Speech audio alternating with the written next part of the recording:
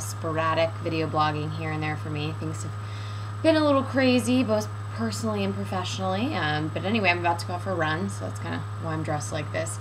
But um, two things. I want to first let you know that Rosa Mexicana is officially certified, and I'm going to put up a really awesome video in the kitchen and showing you the changes they've made, an interview with their um, their chef and everything coming this Friday. So get excited about that. Um, but the other thing I wanted to share with you guys today is something a little disconcerting about California Pizza Kitchen. I blogged a couple months ago that they were introducing a new gluten-free crust to their menu with some gluten-free menu options, um, and then I came across this. Elise Ratner sent this to me, um, and it's written by Jennifer Frank, and I believe it's from Boston, but I'm going to actually post the link for you guys. I'm going to read a little bit about it to you right now. Um, but basically, what happened was this woman, um, Jennifer Frank, has two daughters with celiac disease. Um, and she wanted to take her daughters to CPK for pizza. And the staff informed her that while they used a foil lined sheet pan and a separate cutter, they used the same sauces, including ladles, cheese, veggies, and other toppings that they used for their wheat pizza, pizzas. When I told them by doing this they were cross contaminating the pizzas, they pointed out their disclaimer about incidental um, cross contamination.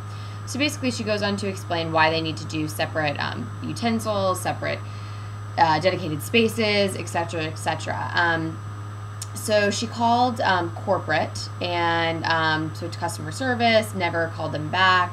Um, and so eventually said she tweeted what happened, and immediately after the tweet, the PR person called her, um, and the director of culinary development uh, said he'd call on Monday. When he called, his name is Paul Pabitz. Poblitsky. I'm not quite sure. Sorry, guys. And after a long conversation, he said he understood um, what I wanted and that it seemed reasonable and he would talk to his superiors. He called back two hours later saying they would not change their practices. During the course of our conversations, he also told me that he guessed that CPK's gluten free pizza is not meant for people with celiac disease, but just for people who choose not to eat gluten. Um, and she wrote that's totally crazy and a slap in the face for people who have celiac disease. When it was clear that CPK was not going to change their practices, I asked Paul, who made the final decision. He said it went all the way up to the CEO. Um, she says, This is disturbing for me on so many levels. I think the celiac disease community needs to be aware of what's going on at CPK. More disturbing is the realization that cross contamination may be occurring at other restaurants that are unwilling to make a commitment to serve best practices for preparing truly gluten free food.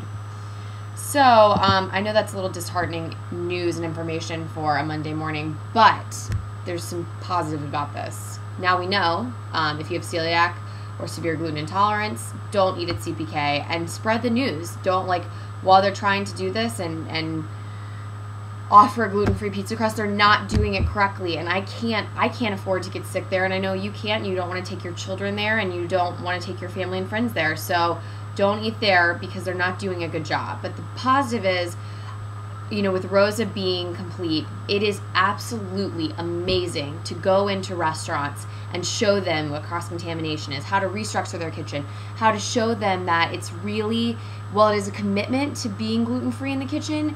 Once they do it, they can it works into their cycle and it works into their everyday, you know, line functionings and then people don't get sick and everyone knows. So you know there is hope. And while Bo is so small right now we're growing rapidly and we're working hard to reach a number of restaurants. So if you are a restaurant owner and you you know are looking to not be CPK right now send me an email you know email me through the website. And if you any if anyone out there knows of a restaurant that you know could use this and wants to put me in touch with them I would so so appreciate it. So anyway please tread lightly at CPK. Um, now that we know the truth that they are um, cross-contaminating and apparently their pizzas aren't for people with celiac or again gluten intolerance, which they don't even really understand at this point.